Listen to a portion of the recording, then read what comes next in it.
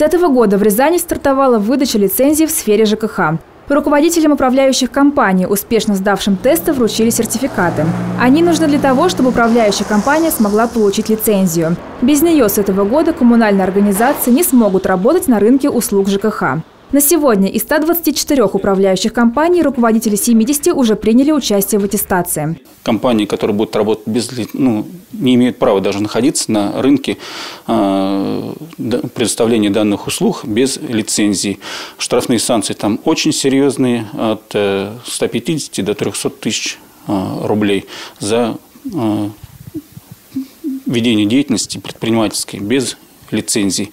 Поэтому все руководители управляющей компании относятся к этому очень серьезно, подходят, видели, и сдают со стобальной э, ну, системой такой. Э, ну, были нюансы, есть у нас люди, которые не готовы пока получить аттестат, но будут готовиться еще изучать.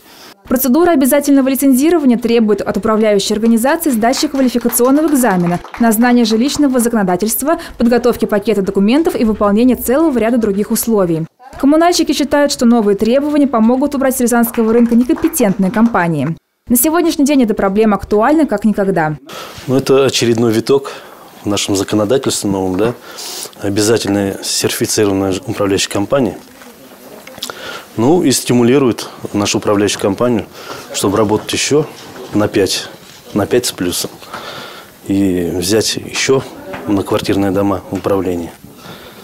Вот для этого получили аттестат сегодня. Вся процедура лицензирования продлится больше полутора месяцев. Завершатся все процедуры ближе к маю этого года.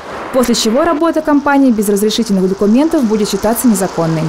Получение лицензии – это процедура, требующая времени, внимания и ответственности. В конечном итоге с рынка уйдут некомпетентные компании, что положительно отразится на качестве услуг. Квалификационный экзамен предусматривает все вопросы, в которых обязан разбираться специалист, претендующий на руководящую должность управляющей компании.